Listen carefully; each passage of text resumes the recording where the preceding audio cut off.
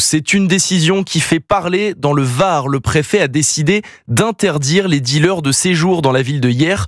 Concrètement, tous les individus connus pour trafic de stupéfiants dans les Bouches du Rhône ne pourront ni circuler ni stationner à Hier sans motif légitime. Une décision prise pour tenter de freiner l'activité des dealers marseillais qui sont de plus en plus présents dans la ville, explique le préfet.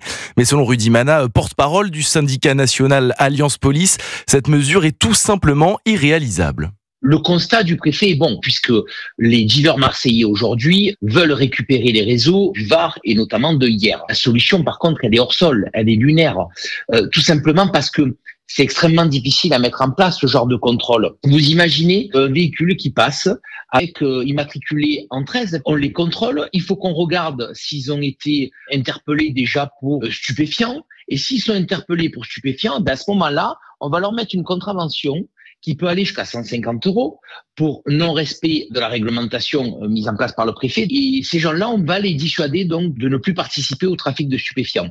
Donc malheureusement, c'est pas comme ça que cela marche. C'est totalement inapplicable. C'est une idée politicienne et malheureusement, les idées politiciennes ne sont rarement en adéquation avec les idées que nous avons les policiers sur le terrain. Rudy Mana, porte-parole national du syndicat Alliance Police, joint pour Europe 1 par Guillaume Dominguez.